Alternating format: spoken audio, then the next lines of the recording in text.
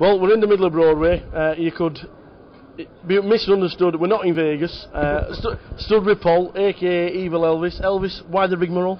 Um, I'm an Elvis fan and I'm a poker player, and I just brought the two together, and because of that, I'm having a great laugh and a great time. Yeah, well, s- we've seen you on the circuit, and you do it everywhere you go. D- Yeah. How do people react?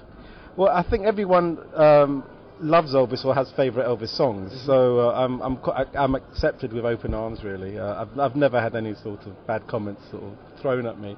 Uh, people enjoy me at the table because I, I like to relax people and. Um, have fun. That's the, that's the basis of the game, really. And that's what today is all about, having fun. You've got the Virgin logo. Yep. Well, it, it is having fun. It's a hundred pound um, sort of uh, qualifier buy-in, so there's not a, a lot of pressure on players. Um, it'll be interesting to see how the internet players perform on a live game because on the internet they go in with ace five and they're called by ace three.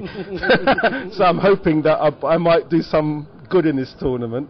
Uh, my advice to any internet player would be just to rock up for the first couple of levels get used to 40 minute blinds because they're only used to 15 minute blinds. It's not going to work if they if they rush. They think of it as a marathon, not a race. Well, we've seen you on the circuit doing the bigger events. Uh, are you changing your game for these guys today? Um, I'll, well, if I get pocket kings, I'm all in. So kings with the king. That, that's all I can say. Um, the the important thing is that people enjoy the game and realise that uh, it's not a game of chance. It's a game of skill. And I just hope people don't get too many bad beats uh, and then just enjoy the process.